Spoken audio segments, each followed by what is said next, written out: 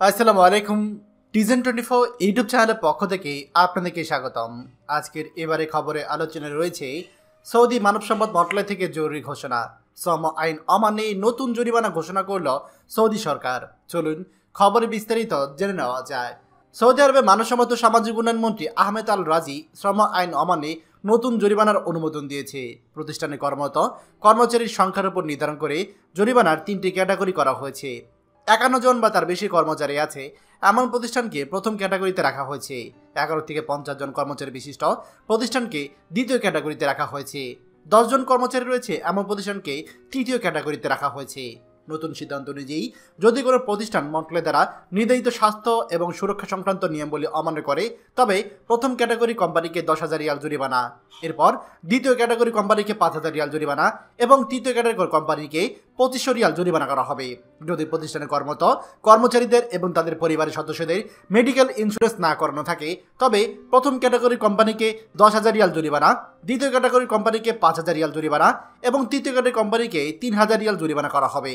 পুনরায় নিয়ম অমান্য করলে জরিমানার পরিমাণ দ্বিগুণ করা হবে।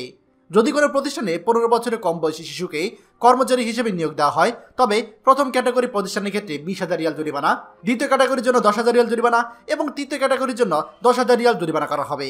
যদি কোনো প্রতিষ্ঠানে কোনো নারীর সন্তান প্রসবের ছয় সপ্তাহের মধ্যে তাকে কর্মচারী হিসেবে নিয়োগ দেয় বা কাজে যোগ দিতে বাধ্য করে, তবে সকল ক্যাটাগরি প্রতিষ্ঠানের জন্য দশ হাজার রিয়াল জরিমানা জারি করা হয়েছে। কাজ চলার সময়ে কর্মচারীদের জন্য পর্যাপ্ত সংখ্যক আসনের ব্যবস্থা না করলে প্রথম ক্যাটাগরি প্রতিষ্ঠানকে তিন হাজার রিয়াল জরিমানা, দ্বিতীয় ক্যাটাগরি প্রতিষ্ঠানকে দুই হাজার রিয়াল জরিমানা এবং তৃতীয় ক্যাটাগরি প্রতিষ্ঠানকে এক হাজার রিয়াল জরিমানা করা হবে।